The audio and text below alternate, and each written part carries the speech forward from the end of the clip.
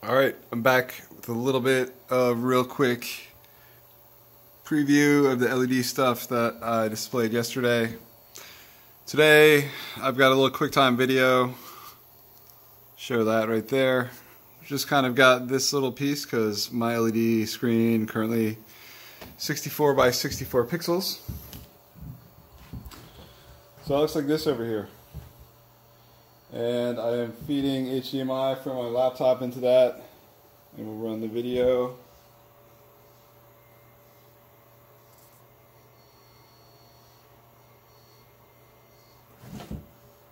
Pretty wild. Let's see I think I got a couple more here.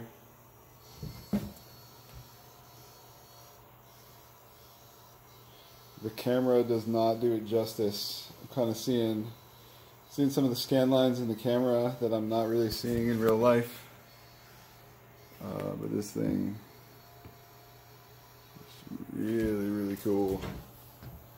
And these are all just video clips. So take like this little purple one.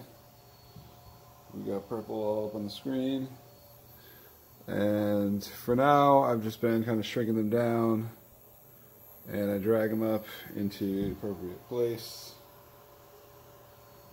and then I hit play. So I spent a little bit of time checking out Pocket VJ. I saw that my Pi here. And the problem I ran into, this seemed to work really great, uh, hooked up to my TV.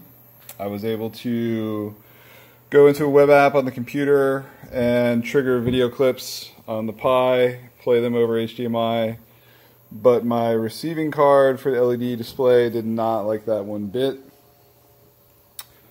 So I think I'm pretty much going to give up on the Pi. I'm going to have to use a computer solution for this. Uh, as I'm kind of realizing here with the videos, to get the display right for the grid, I'm going to want to do things like resize it, move it around. You know, this is me just dragging it around. See, there's the mouse and the words from the screen.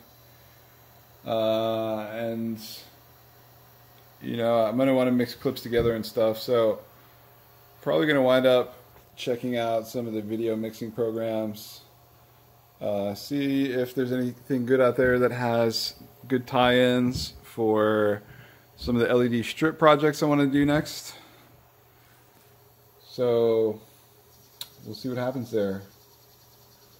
Just pop on like one more real quick.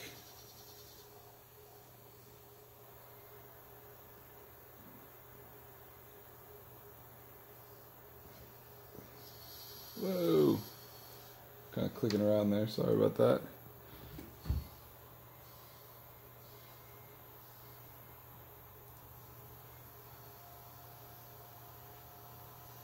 Super cool. All right, thanks for checking it out. Peace.